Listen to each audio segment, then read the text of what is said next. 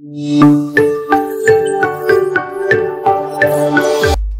there, once again welcome back to my YouTube channel. In today's tutorial, I'm going to show you how to create a text reflection in Photoshop like this. So we're going to create the text and then we also create a reflection for that.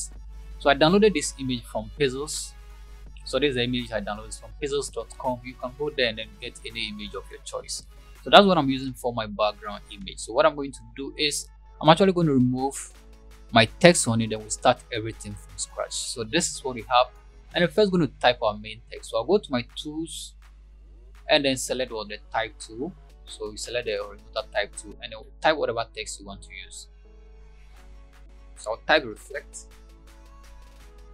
and that is all I want. So let me make sure my, my spelling is right. And then I need to enlarge this font a bit. So select everything, go to your option bar and then drag this out until you're okay with the size of your font. I also want to apply some bit of shadow to this. So I'll go to my layer panel, double click, and then open my layer style and then add some shadow to it. I can make some adjustment to my shadow, the size of my shadow, the distance, and until probably I'm okay with the shadow that I want to use. I think that is okay. And then we need a copy of this. And in order to do that, go to your layer panel.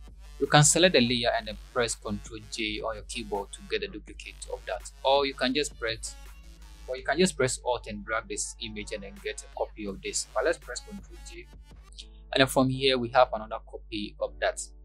Now we need to transform this and then actually rotate this.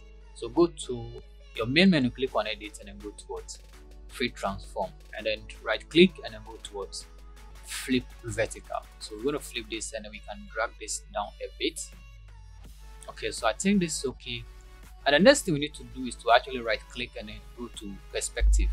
But this will only be active if you rasterize your image. So we go to this layer, right click and then make sure we rasterize this, rasterize type. And then now we go back to edit, free transform and right click again and then you can see the perspective will now be active. Select that and then we can start dragging the edges out and let's see what will happen. So you can see now we can actually create a reflection of the text we have like this. So you can keep dragging this until probably you're okay with what you want. In this case, I think what I want to do, I'm okay with that. And I'll click on the check icon or hit the enter key on your keyboard. So basically, this is what you can do, and then you can go ahead and do some modification.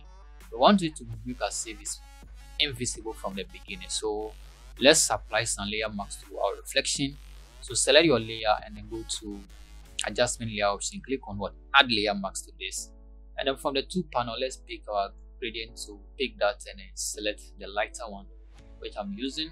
And once you are okay with that just drag a section from the beginning drag from the beginning and then you can see it will make the other parts appear to be like a vanishing point like this. So you can try that until you are comfortable with how you want it to look like. So you can see can make it disappear from the beginning and probably to the end like this. So I think I'm okay with this. And basically, this is how you can create a text reflection in Photoshop. Like, subscribe for more videos like this. Till I come your way again. Bye bye.